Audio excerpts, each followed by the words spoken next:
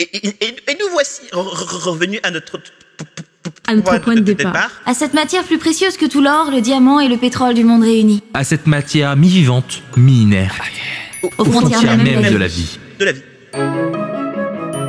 Euh, ADN.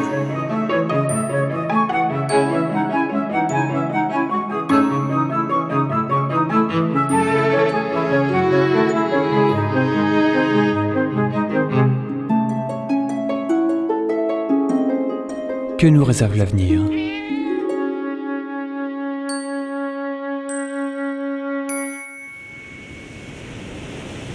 Et nous voici revenus à la plage. Je crois que c'est Ellie qui a lancé l'idée en premier, mais tout le monde était vraiment partant.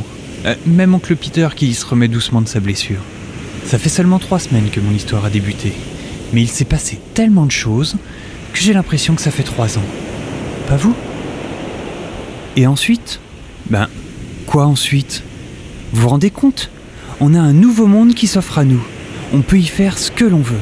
Et on a même une DeLorean. On n'a plus besoin de s'inquiéter pour les biopuces et je me suis même promis de donner une chance au dégène. Le docteur Lemort ne pouvait pas avoir tort sur toute la ligne. S'il y a une chance de cohabiter, je veux nous la laisser. Oliver, tu viens? J'arrive Oliver On a oublié le ballon Tu nous jettes ton chat Enfoiré Tu vas voir si je te chope Non mais tu te rends compte John? T'es le chat le plus héroïque que je connaisse et personne veut croire que c'est toi qui nous as sauvés. Lee Je te préviens, si tu colles encore ma sœur comme ça, je vais... Tu vas voir. Bon. Je voudrais surtout pas être mal poli, mais je vais retourner avec mes amis. Parce que, euh, après ça, j'ai un monde à repeupler, et un zoo à nourrir. Je crois que j'ai le droit à une petite pause en attendant. Je tiens juste à vous remercier.